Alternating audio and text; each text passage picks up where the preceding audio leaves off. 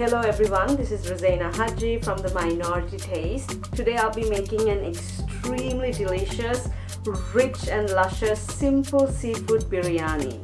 Now if you've been watching this channel and been following my journey, you would know that I have dedicated a lot of myself to preserving ancient recipes from Sri Lanka. However, I do get a lot of requests from the younger generation and a lot of my male viewers to give them simple and easy recipes. Now this simple seafood biryani is not only going to be so so delicious.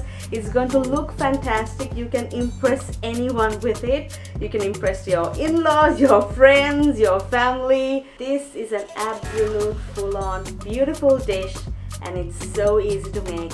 Let's get into making it. First and foremost, clean, cut, wash and prep your crab, squid and prawn. And into washed and pre-soaked basmati, you're going to add 4 cloves, and then a few bay leaves. Now the written recipe is under my Instagram or Facebook page. Do check it out. You're going to add a little saffron. This is optional and a little melted ghee. And then we're going to add salt to taste and warm water and cook it in your rice cooker because this is the easiest method. Add some Bombay onion into your heated ghee and infuse that ghee with a little salt to taste. You're to salt your onions well though because this is where all the flavor comes in. Then we're to add ginger garlic paste. Again, let me remind you, the written recipe is in the description box below or on my Instagram or Facebook page. We're to add a stick of cinnamon. Now let the cinnamon infuse because it needs that heat. Then cut up a few dry chilies. This is going to add that beautiful heat and flavor. Let it all infuse together. Add a chopped tomato. And here's the main tip of this trick the unroasted curry powder. You can use the Sri Lankan unroasted curry powder or the Indian one. Either way, this is the most easiest way that you're going to get this biryani done.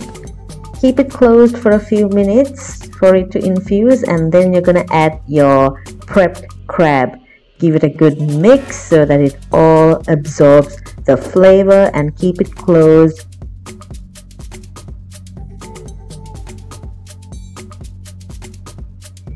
Now we all know you can add curd for biryani, but if you want that super Sri Lankan taste, add a little bit of coconut cream and you'll see the difference. We're going to be adding the prawns at this point and the cut up squid and give it a little mix. Now here's my little secret. I also add a little bit of coconut water to give that added flavor. But you can add a little warm water it will be just as delicious. Keep it closed for just a few minutes and then you're going to get this beautiful aroma and you're to take away that golden gravy. I'm to tell you why just in a little bit, but for now, you're to get a beautiful aroma and smell. And then you're to add a little bit of coriander leaves. You can add mint leaves, you can add a mix of the both I'm to take the shell off. I added this purely for decorative purposes. Now your rice is all fluffed up and ready. Take off the bay leaf and all the spices. Then you're going to add the rice and cover the seafood with the rice.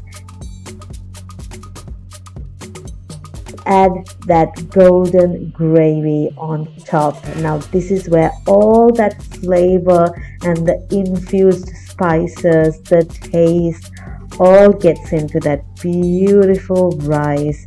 Keep it closed for another five minutes.